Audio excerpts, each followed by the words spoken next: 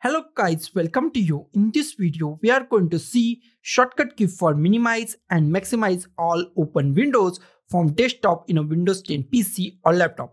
Here I just open some windows, VLC Media Player, Notepad, Google Chrome, some folders and control panel and I want to minimize that all windows. That is very simple in Windows 10. Just go to your keyboard. On your keyboard, just hold the Windows key and just press D key and release all keys. So I just press Windows key and D key and our all windows is minimized. Now I want to maximize all windows. That is very simple. Just go to your keyboard once again and this time just press Windows key and just press D key. Just once again, just press D key, Windows and D key and your all windows is appear on your screen or maximize.